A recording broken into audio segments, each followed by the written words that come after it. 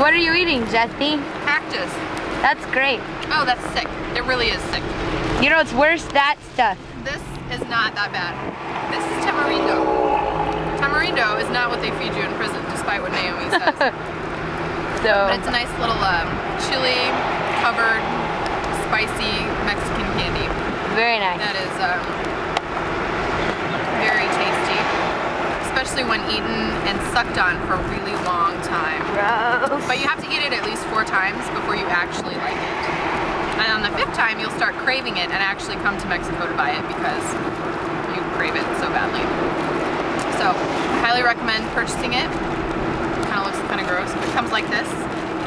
And yeah, there you go. There you have it, ladies There and you have gentlemen. Pat, do you have anything to say?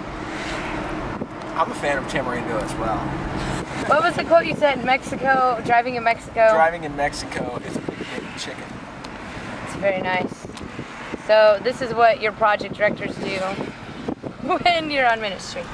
We update the website and uh, drive in Mexico.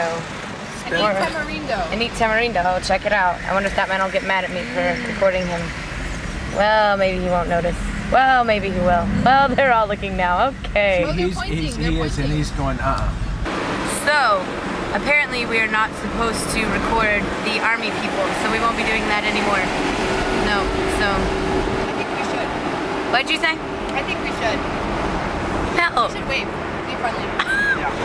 that's all for now.